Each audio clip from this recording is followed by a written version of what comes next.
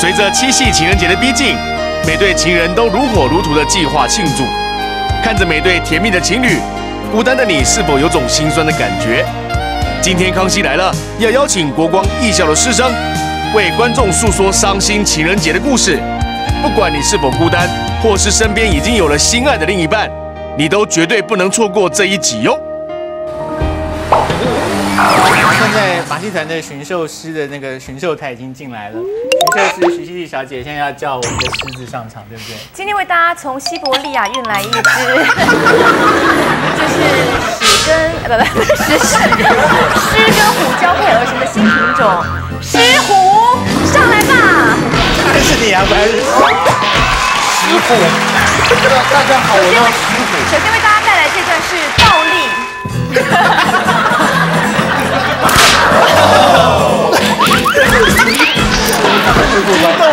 我觉得这个更快吧。好，你起码可以像狮子一样的蹲坐。哦是哦是这样吗？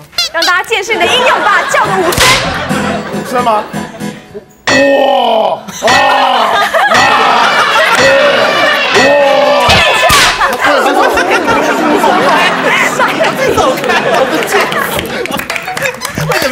的戏？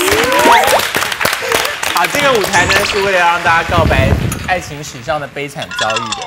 那我们今天是照最无聊的这个程序开始告白，所以统统上的爱情悲惨遭遇是最无聊，就要第一个讲，对不对？你说情人节啊？不一定要你的爱情人节情遭遇最就都没有悲惨，对不对？他的都还蛮悲惨的耶。真的吗？他两段观众知道的都还哪两段？小贤跟向立文啊，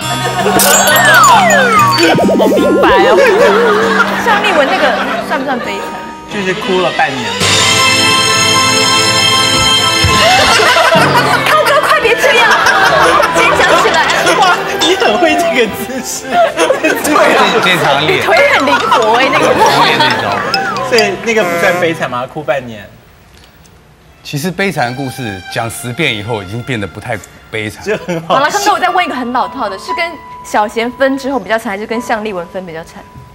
都蛮惨，哪一个你比较痛苦？都很痛苦。当你认真过，那种痛都是一样。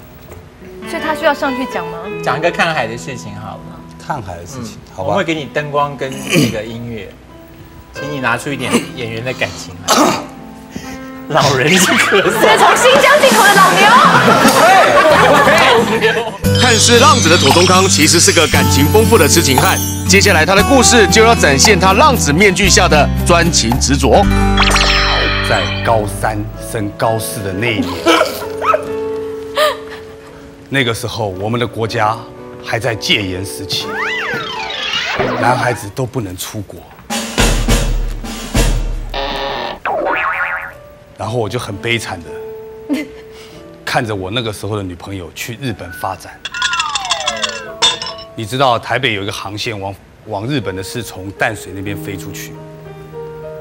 在情人节那一天，我不知道对着那个飞过去的飞机讲了几次，我好想去，好想去，但是我只能看着大海，默默的流泪，怨恨着旁边的情侣。我希望他们都淹死。这就是我悲惨的过去。好感人哦，感人你刚才说我哎。好想去那边的时候，我还蛮想哭的。哎，这故事很有很有画面呢。周子湾上班嘛，那那时候航线都是往那边飞的。对，然后我眼睛很好，我都可以看得出来啊，这是新航的，这是华航的。然后这个海边啊，我就会蹲在那边，好想去哦，你可不可以载我？哦，好可怜哦。然后那那时候不是情人节，大家都去海边玩嘛，啊，淹死，那那时候要出国可能吗不可能的啊、因为兵役问题。对，不。准出国啊，然后那个女生为什么都不管你的感觉就出国了？因为他们那个时候是要去表演嘛。所以他后来有回来吗？有啊，回来的时候我已经去当兵了，后来就没有复合。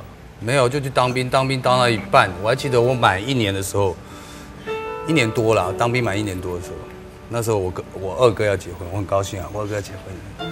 然后我一个同学来找我，我说哎、他也认识我二哥吗？我说哎、我二哥要结婚，他对啊对啊。我有件事不应该不应该告诉你，我说什么事啊？你知道那一天也有一个别人要结婚，我就 一定是他对不对？好，其实他也蛮灵活的，我好喜欢这个动作，好好顺哦。结果真的是是他。真是他，那有去机场送他吗？我没有去，为什么不去送他？不要去吧，去的很尴尬，在那边会哭太惨是不是？也不会一定会流泪的啊、哎，所以你是那种会跟旧情人复合的人吗？应该不会吧？就分就算了。分手了以后，就要记得人家的好就就够了。真的要把人家那个什么什么，你以前跟他吵架啦，什么不愉快啊，真的都把他忘了。然后你只要留下来说，哇，我以前多爱他，那我们以前在一起多有默契，然后怎么样怎么样就好。所以你从来不会分手之后再传简讯给他说什么你这个臭女人啊，没眼光什么 不会干这种。就是只有小刀才会这样。我才不会嘞，我很大方。小刀就传个这种简讯给你，没有，可是我有我有遇过这种情况。小刀不是得不到你吗？可是小刀他脾气很好，他得不到，他顶多就说：“哦，你为什么不爱我？”他顶多 顶多就是这样，还蛮温和的。所以土龙涛那那时候经历过日本那件事之后，是不是就再也不敢做远距离恋爱？远距离恋爱，我后来还是你知道忍不住还是来了一些，还有吗？有有有。是是多远？就另外一个女朋友嘛，她到美国去念书嘛，然后哦那时候很甜蜜耶，因为我还要去买什么一些女性杂志嘛，每个月要去买啊，寄到美国去给她。很重哎，那怎么办呢？要寄啊，然后要写信啊，比如说今天接到她的信，晚上就忙回，期待明天大早去寄信这样，啊寄完信就。然后回来，然后看时间到啊，该买杂志就包好，然后邮局寄到美国去。贴心然后后来快过年了吧，我还记得我打电话给他，那时候不能随便打电话，啊，也也是也是戒严吗？不是不是，因为那时候住家里打国外你疯了，被爸杀了，然后就用写信的啊、然后后来他跟我讲说他过年不能回来啊，不能回来，我想怎么办怎么办呢？我就去接了一部戏，凑了一点钱，继续给他去叫他买飞机票回来，他回来啊，然后嘞，这样抱在一起啊。应该不是。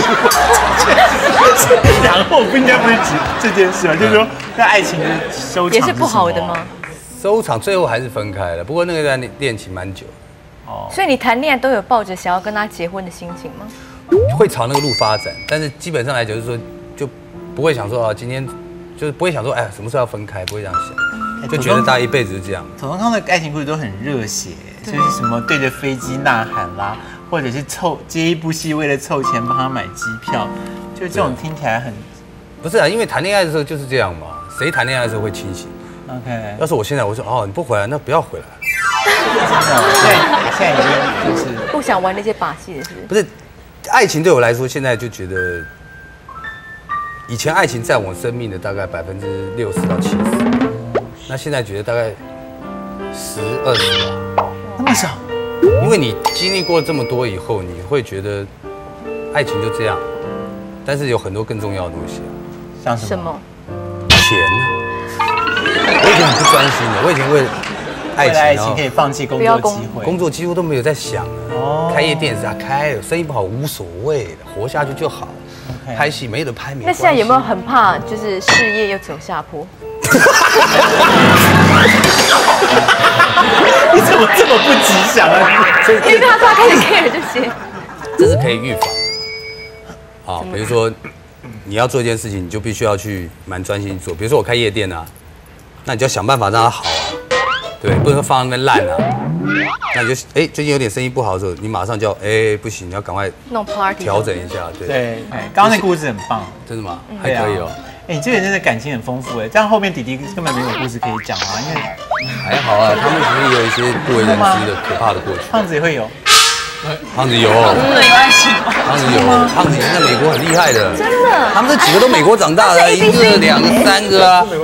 讨厌死了！现场一直讲英文，听不懂。没有，他说别污染，我没有啊。你怎么隐藏的那么好啊？A B C 我没有，因的气质为。我可能因为我本来就会讲，然后还会看，只是写有点差。那书我还是王一人的帅气男友邱成竟然惨遭昔日女友劈腿。包括里面手机按到，然后还不知道，听了大概半个小时，然后我就听到一句说，哦，你不用担心我男朋友，我今天已经摆脱他了，开心的去我天哪！听到这里，土中康的反应竟然是没有你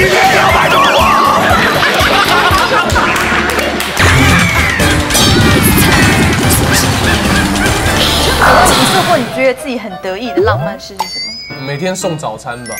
小张，你出来，你你送早餐给女生的时候是什么什么告什么开场白，然后是什么动作？等一下，我是这样买买了，其实已经挑很久 OK 挑很久，然后就摆到这边，这是给你。小刀，谢谢。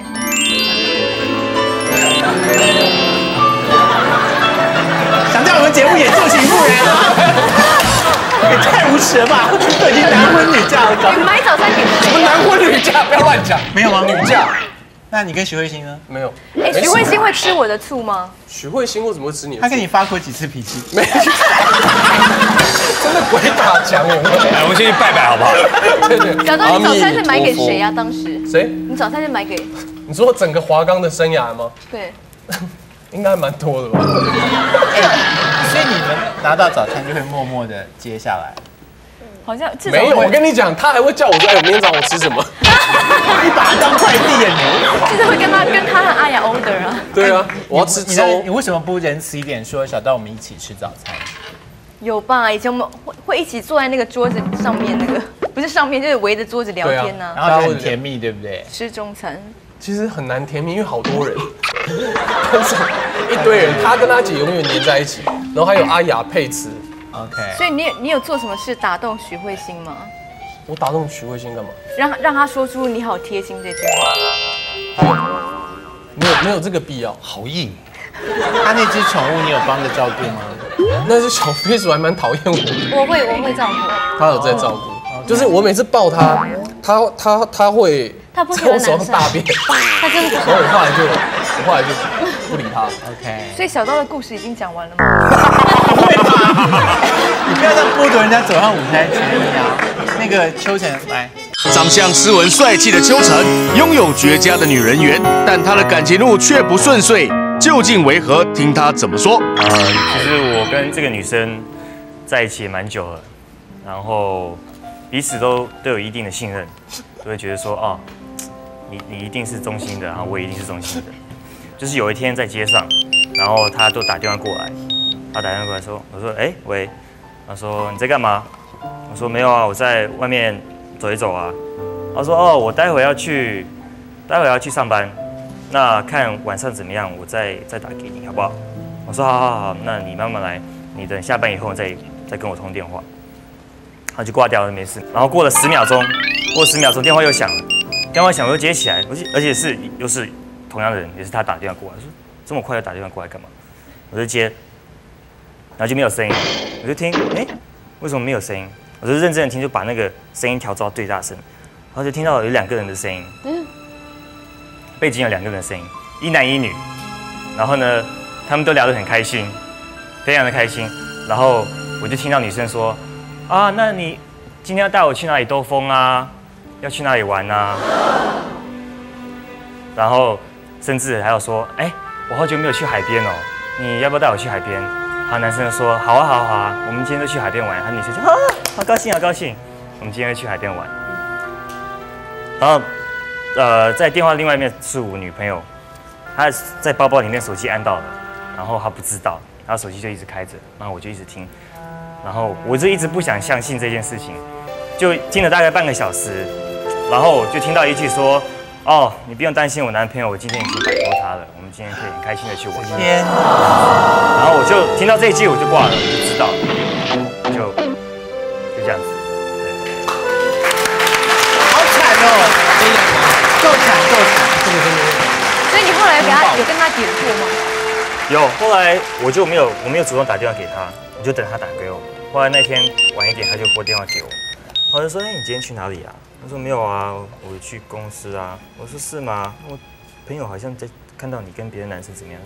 哦，没有啊，那是 gay 啦，他带我去，他是顺路带我去上班这样子嗯。对对对对。他所以他的理由就是说那个男人是 gay，这是在美国发生的事啊。在台湾 OK，就后来就因为这件事分手吗？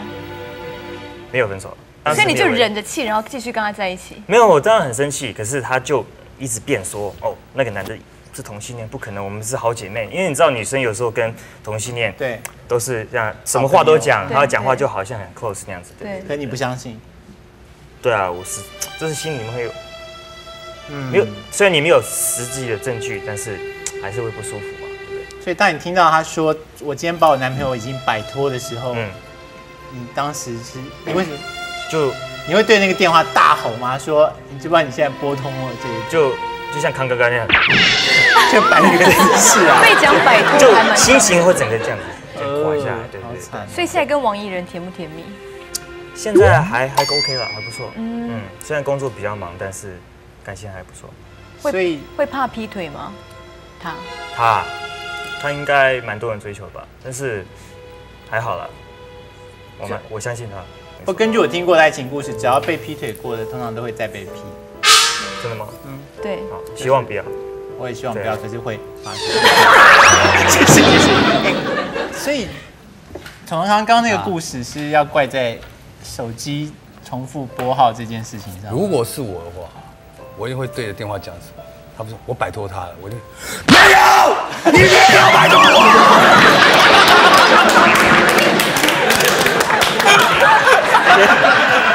然后他就很甜蜜，让他们爽。所以这个键盘锁一定要随时锁好。我觉得手机真的会出一些很糟的状况啊。对我有没有跟你讲过说，就有一个倒霉的人被我抓去看京剧，结果就看京剧的过程中，他都一直装作很乐在其中的样子。然后等他走出了那个国家剧院之后，大概过了二十分钟，我收到一则简讯，然后这简讯上面就写说。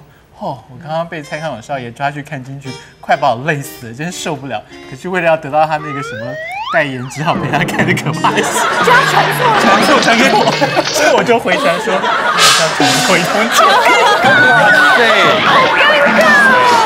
死掉。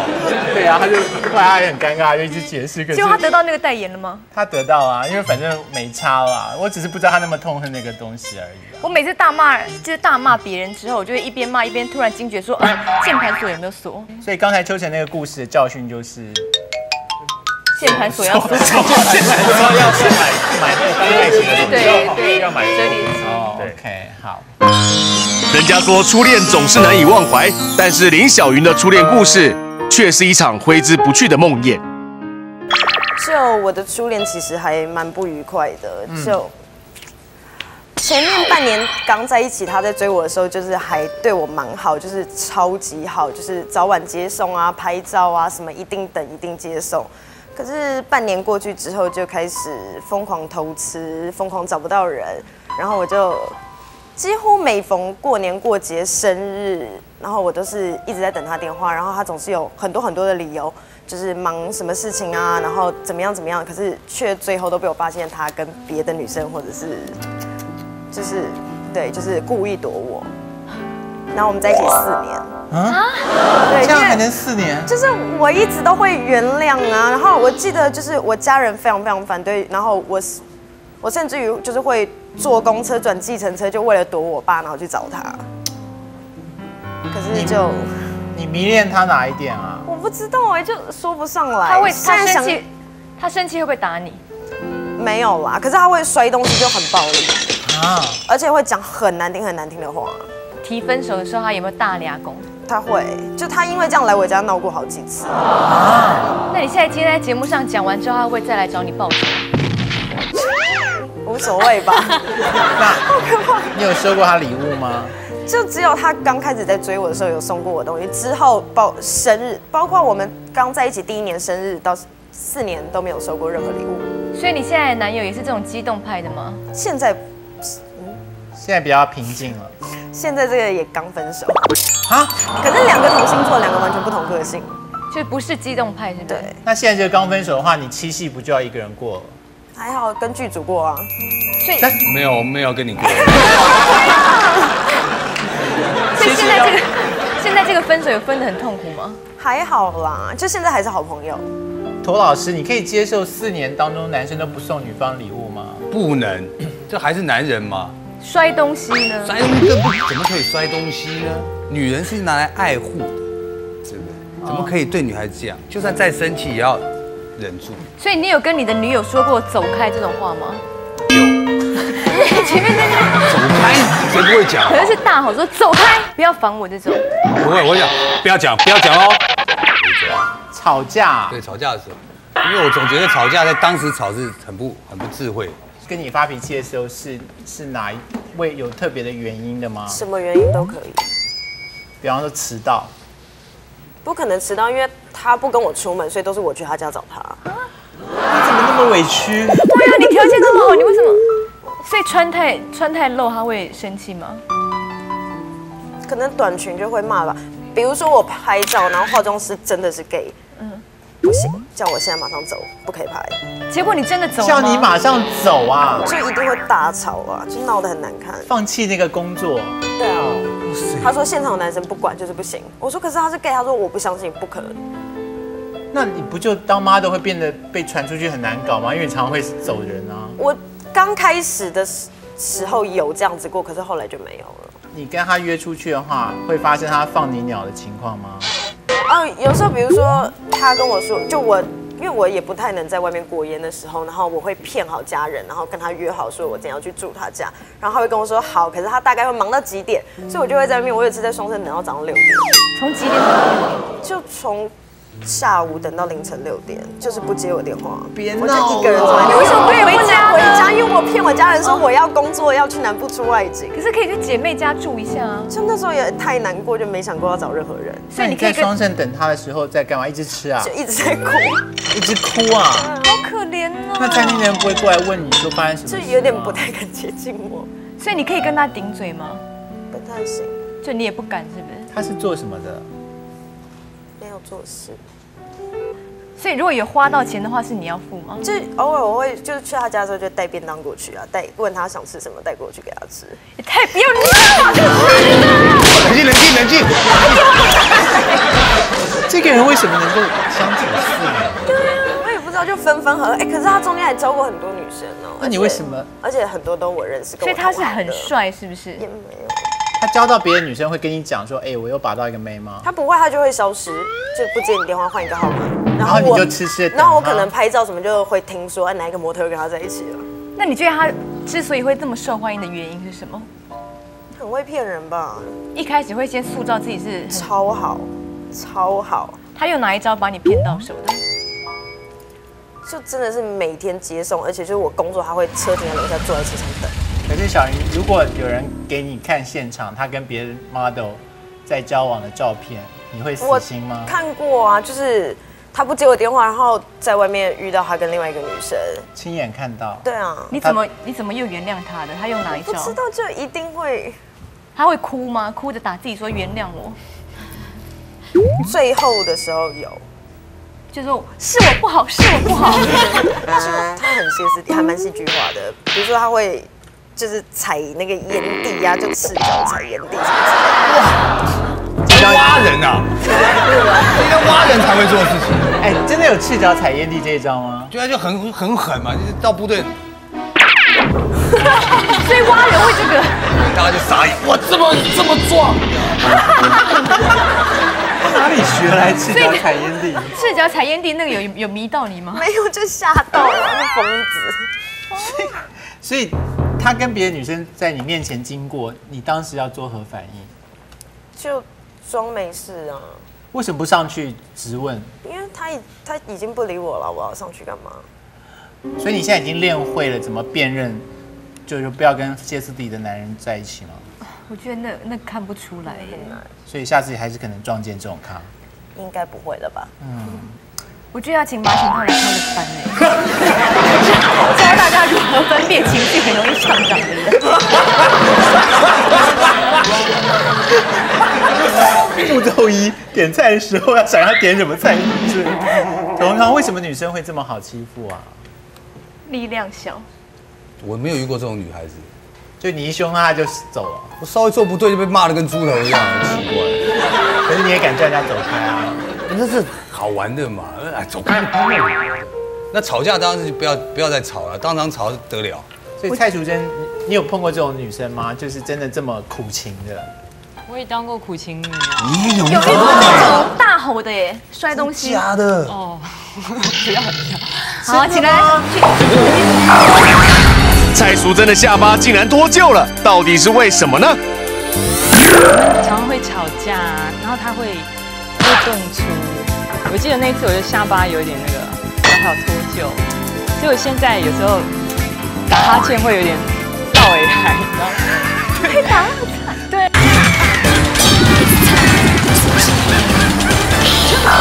男人心目中的田姐儿蔡淑珍，竟然也曾经历过苦情女的岁月，到底是怎么一回事？来听听她怎么说。嗯，其实已经很久了，是我第一个男朋友。然后呃，那时候我年纪还很小，大概才国中吧。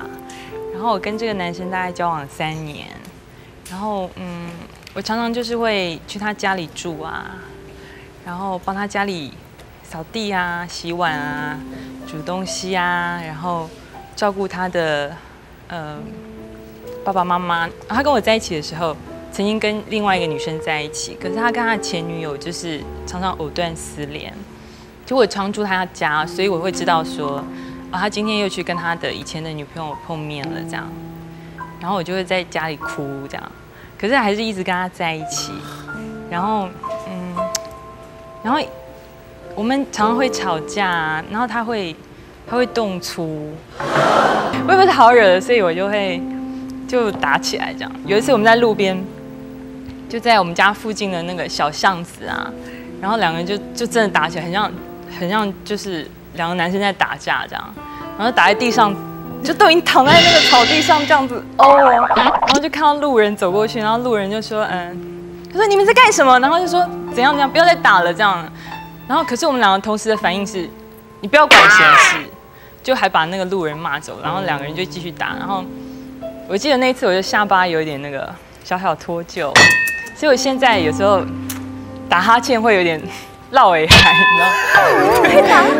对，然后可是那个没有什么明显的外伤啊，就是有一点，他变得习惯性有点，嗯，会这样嘎嘎一声这样。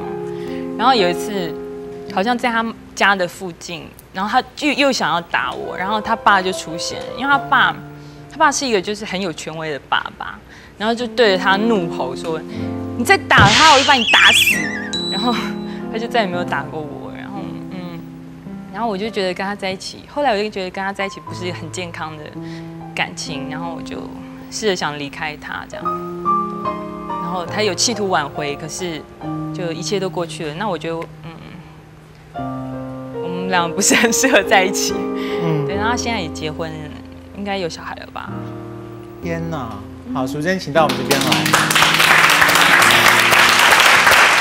我刚刚知道他是这种角色吗？会跟男友互殴的，看得出来。真的吗？我以为你是女角色哎，就是那个男友男生都拜倒在你裙下那种。我嗯，我其实我觉得我也是那种愚属于愚蠢的，也曾经愚蠢过啦。现在当然不会，可我小时候是那种会跟男生打架的那种。所以你现在打哈欠脱臼后怎么办？就要拖住下巴。没有啊，就它不是脱臼，就是会嘎嘎一声。哦有时候你嘴巴张太大，打哈欠啊，所以你会不会就每次一嘎嘎就立刻有那个殴打的画面出现？哎，好糟哦。所以他是他打的是那种呼巴掌的，是不是？不是拳头。然后一出拳就往脸打，是不是？对啊。可是我比他高一点，可是没有用啊，女生还是打不过吧？但我不觉得，我觉得平分秋色。那你你对付的招式是说接住他拳还是闪开？没有，我就猛殴他。正面影响他。所以会打到满脸血吗？这样？没有啊，我觉得女生完全就是输在力量小。就如果女生力气跟男生一样大，又会功夫的话，就不用怕了。可是我觉得我不是，我觉得那倒还好，是输在一个那种好像牺牲奉献是一件应该的事情，对。很想要企图改变这个男生的那种心态。OK，改变不了的。真的啊，就感动谈恋爱绝对不要去试图改变他，对，真的很那除非你愿意改变。那万一你遇上了这种咖怎么办？你遇上这种难搞的人，你说我遇到不是啊，女生遇到怎么办？就离开他，可是离开他就要威胁揍你，报警。没有用啦。我总不能叫你去混黑社会，就有伤害。但是但是真的男女之间在一起，你不要想，永远不要想着哇，我跟他在一起，我会改变他成为我要的那样，怎么可能？我就会想要那种成就感。所以他不会为了你，然后而不去夜店玩，或是跟朋友在一起。但等到我真正离开他之后，他就变了，他就真的是他想要挽挽回这个感情。然后我去上班，他也跟着我去上班，他跟我去同一家公司上班。然后他的家人也就是来希望我可以回到他身边，可是都都我我觉得我那时候生活很好，就不要了。那你跟他第一次互殴，难道没有想说够了，我要闪人吗？那时候我年纪很小哎、我小时候就是一个那男男孩子气很重的人，我也不我当时不觉得自己受受到虐待还是什么，不觉得。所以你后来没再遇到这种暴力分我子？当然不，你推我一下，叫警察。我当时可不可以把小汽车拿来？小汽车，小汽车这个是跟那个无关的谢，谢。这是什么？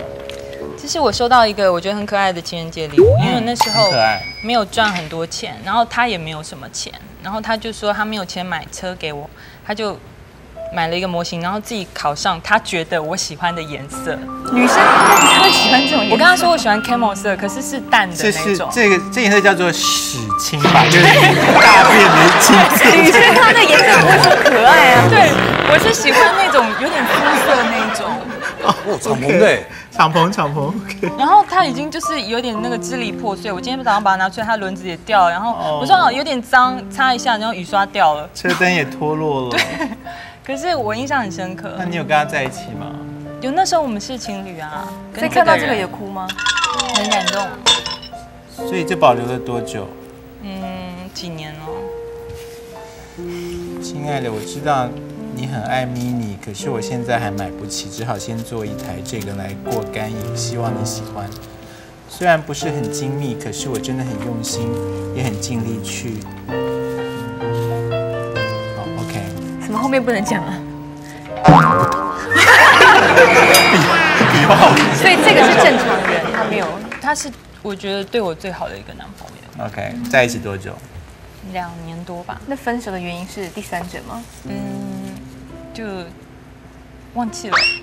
爱情消失。他出国了，他出国念书了。OK，好，所以他他的还比那个四年的好像好一点，至少你有打到那个男的。对，不要鼓励这件事。谢谢您，谢谢，谢谢。好，剩下的人当中呢，嗯，有要听胖子的吗？我要听胖子。要吗？要听胖子。等一下康永哥他真的很想讲，他一定准备了。一段令陈威汉最难以忘怀的伤心往事。来两分多钟，就是他跟那个男的在发生关系的声音。我因为他后来又跟我讲复合，然后我就答应他，可是那半那半年我就到底是什么悲惨的情伤，让大家都忍不住落泪呢？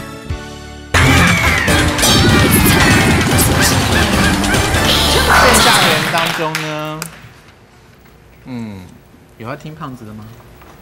我要听胖子。要吗？要听胖子。等一下康永哥他真的很想讲，他一定准备了很久。单恋之味总是苦涩的。接下来，张丽人将为我们说出一段长达六年的单恋情事。有一个女生我喜欢了大概六年的时间，可是这女生我们一直没有交往，然后可是一直是通电话，大概过了两年后吧，打电话有一天就说到，那你要不要来找我玩，到我这边来？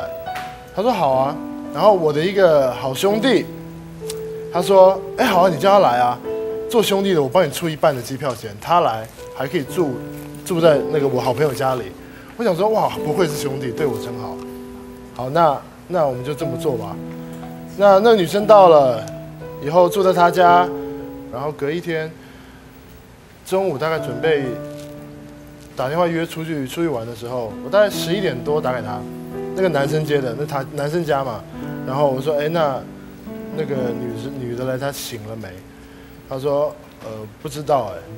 然后我说都还在睡哦，她说大概吧。我说那你叫她听，喂，中间的空格就那么一点点，那就很明显在旁边再躺在他旁边。对，然后我就，呃，先停一下，我说你还在睡？她说嗯，对啊，我就，哦好，那起来打给我，我就把他挂了。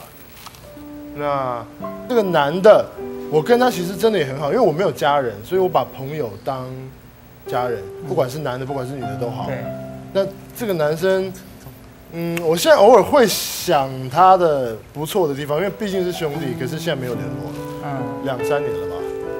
好，我讲完了，谢谢大家。好，谢谢张丽人。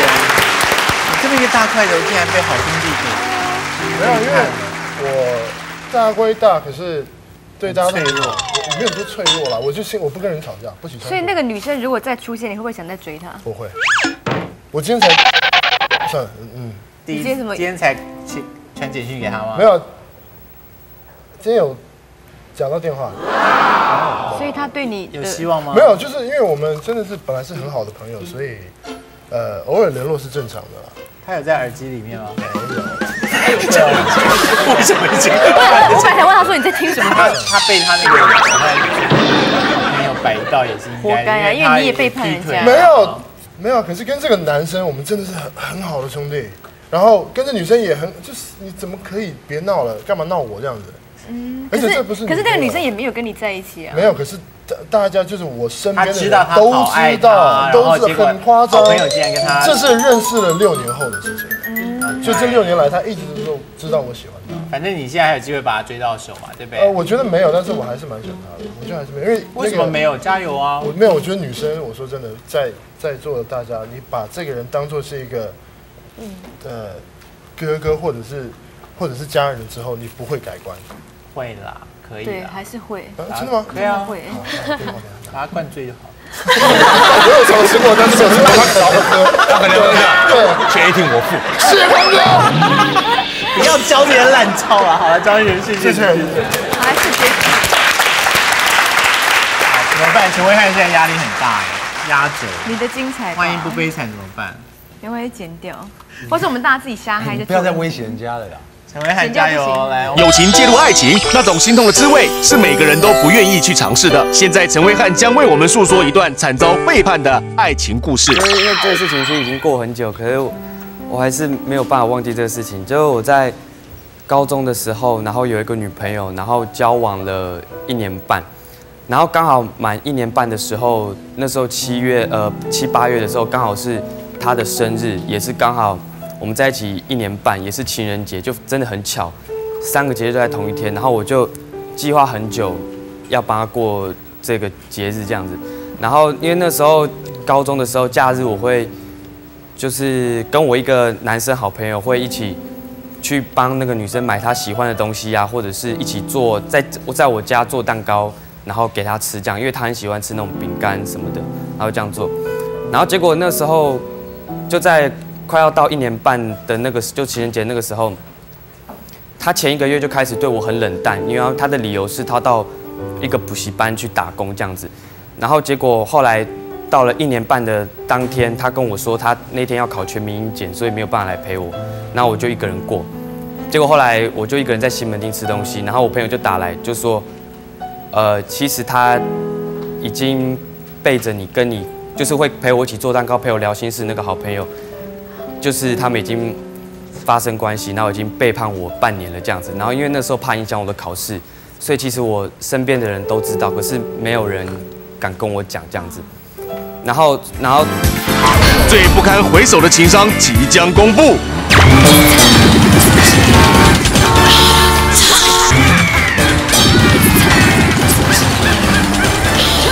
陈威汉高中时期的甜蜜恋曲，最后却变调走位。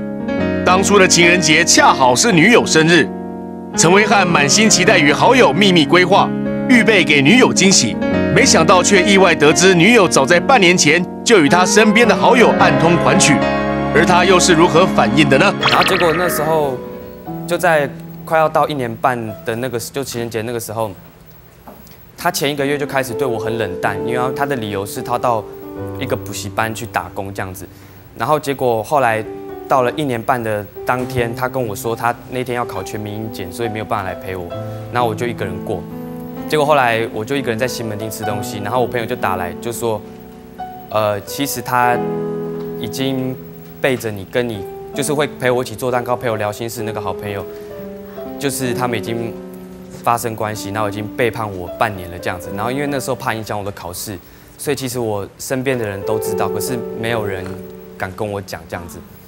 然后，然后当天我就一个人在西门町，我就很难过，然后就是没有办法接受这个事实。然后我就传简讯跟他说：“哦，你们的事情我已经知道了。”然后他也回传给我，就说他跟我很对不起这样子。然后当当然，可是那时候感觉是真的很恨他，可是你离不开他那种感觉。然后后来一个礼拜之后，他自己打给我了，然后我就很高兴，我以为他可能回心转意什么的。可是那通电话我不敢接，因为我自己还是很难过。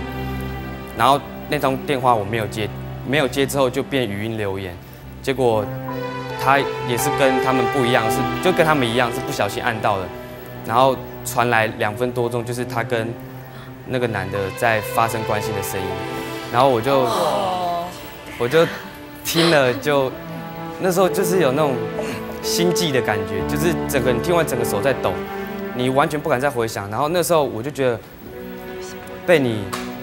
被你这么喜欢的一个人背叛，然后跟你最好的朋友背叛，然后我就觉得很难过这样。然后，然后之后我就把他有关于所有他的东西我都把它删掉，包括简讯啊、照片，还有信纸之类的。然后，然后只只留了一个东西，今天那个制作单位有叫我带来，就是这个戒指。然后，因为我已经很不想去想这些事情，因为我觉得还没有从这个事情走出来这样。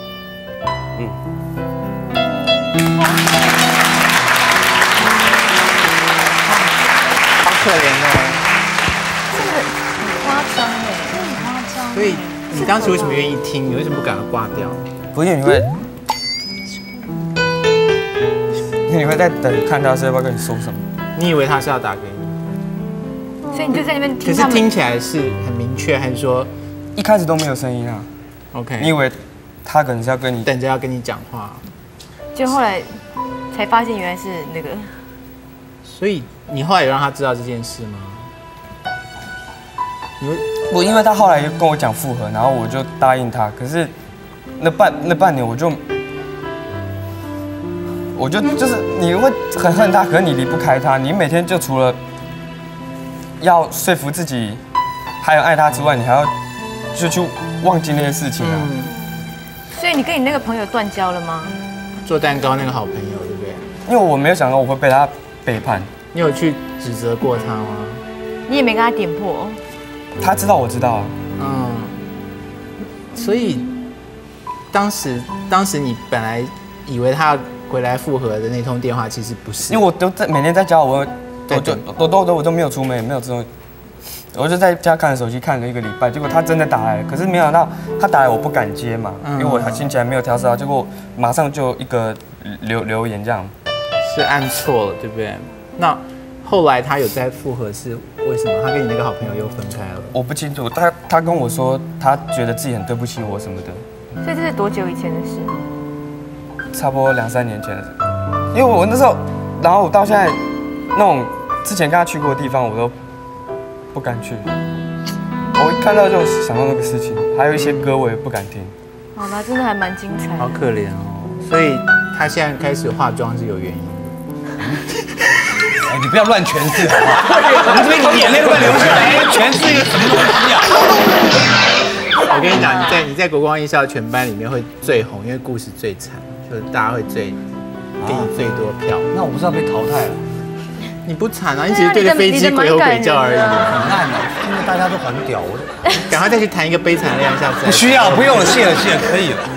好，那我们最后让国光艺校的明星蔡淑珍小姐给他一个拥抱哦。好，哦，安慰安慰我们平安下吧。我很乐意。好，希望你们国光艺校成功哦，谢谢。谢谢。谢谢。对后来在一起的多久？